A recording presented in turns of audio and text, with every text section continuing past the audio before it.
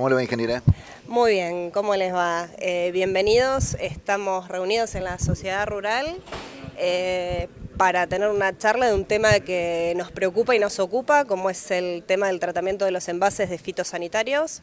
Eh, la charla va a ser al respecto de la ley de envases y para eso convocamos al ingeniero Fernando Langoni, delegado regional de Buenos Aires de Casafe. ¿Se aplica la ley? Eh, la ley está en reglamentación. Precisamente por eso queremos arrancar con el pie derecho y llamamos a un especialista en el tema para, para que Saladillo sea uno de, los pioneros en la buena implementación de la ley.